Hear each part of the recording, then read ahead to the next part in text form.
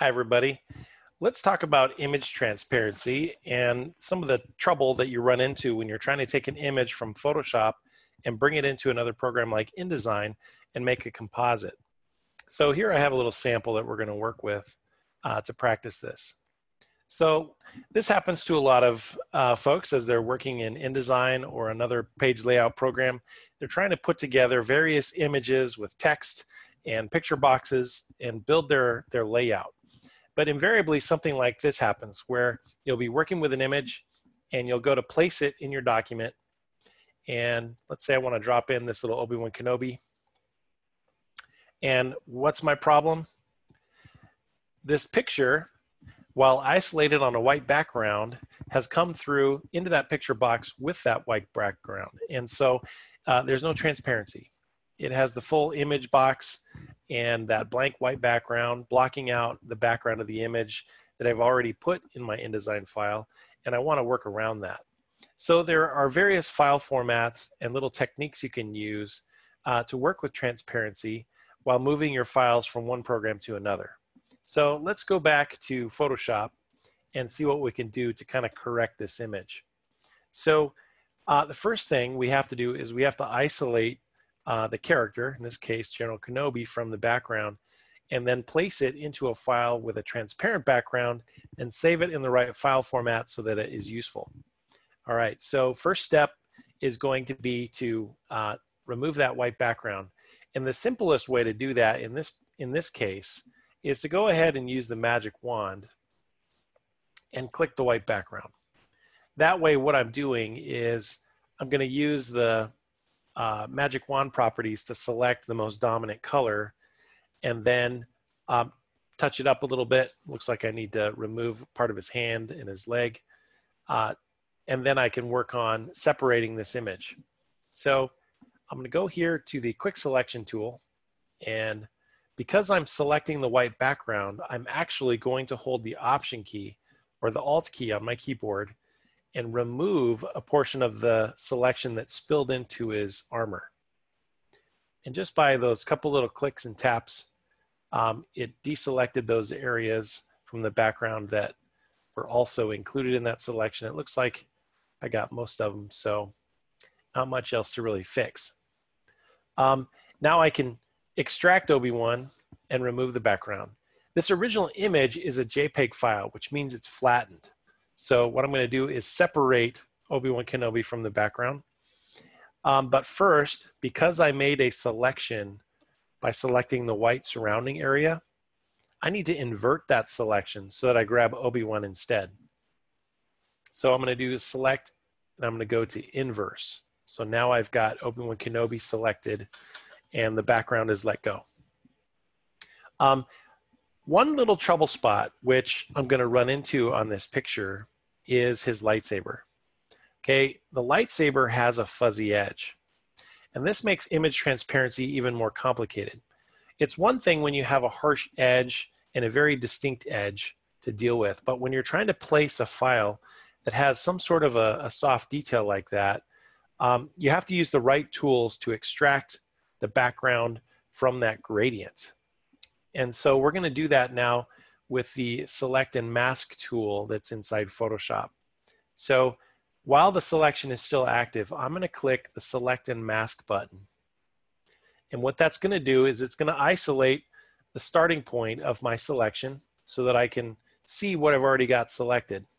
But again, what I'm missing or what you know I'm kind of mistakenly included here is the uh, the halo effect around the lightsaber. See how it still includes some of that white? I need to extract some of that white background from uh, from the selection. And uh, this is similar to what you might do if you're trying to extract hair from a background selection. So what I'm going to do is go over and click on the Refine Edge tool. It's the little brush with what looks like a little hand around it. And while the plus symbol is visible, I'm just going to go in here and kind of brush the edge of the lightsaber. And what that's going to do, and I can make it a little bit bigger if I need to. And you can make it bigger by pressing the bracket key on your keyboard. What I'm gonna do is try to brush down the side of the lightsaber, just extracting some of that white background. And you can see some of the checkerboard starting to appear, uh, you know, become more visible as I do this. I'm basically just painting and removing or teaching the, the Photoshop selection to remove and ignore some of the background color. Now, it's a little bit wonky. I'm not going to waste time trying to perfect my selection at this stage of the game because I want to move on and kind of demonstrate this to you guys. But I could spend some time uh, really tweaking and perfecting that selection. But what I was really after is that fuzziness. And you can see the checkerboard kind of showing through, and that's going to help with that fuzziness. The last thing I'm going to do over here on this properties dialog box is I'm going to scroll down to the middle, uh, to the bottom under output settings, and I'm going to select decontaminate colors. And what that's going to do is it's just going to further remove the, uh, the white uh, color from the halo of the lightsaber. And then um, on output, it's going to ask me, what do I want to do upon output? In other words, when we close this dialog box, do I want a new layer? Do I want a new layer with a mask? Do I want a new document? I could do any one of those. Just to make it simple, I'm going to go ahead and say uh, just new document with a layer mask. I'm going to click OK.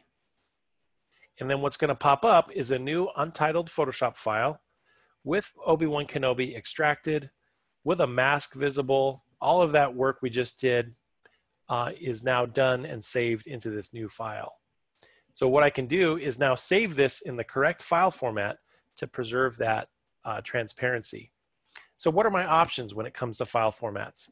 Well, when working within the Adobe universe and you want to work with files, bringing them back and forth, you might, might as well use the Adobe file, uh, formats. So in this case, I might just save it as a Photoshop file. Um, do a file, save as, select uh, Photoshop. I'll just go ahead and call this Kenobi 1.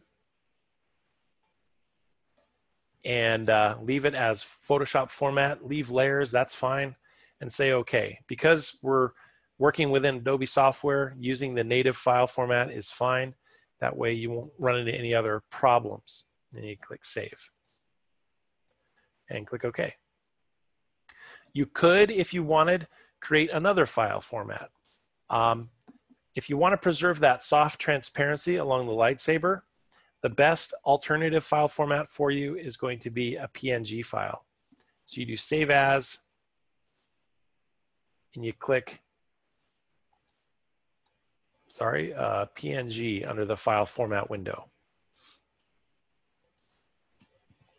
It's going to give you a little warning and say, oh, you got to save it as a copy. That's fine. Just let it do its thing. And click Save. And click OK on this too. And now I've given myself two options actually. I made the Photoshop file and I made the PNG file. When working with print, you might as well just stick with Photoshop because the file's not compressed. Now let's go to InDesign and see what happens. So here I've got that original picture that I placed that I don't want to use. So I'm going to go ahead and delete it.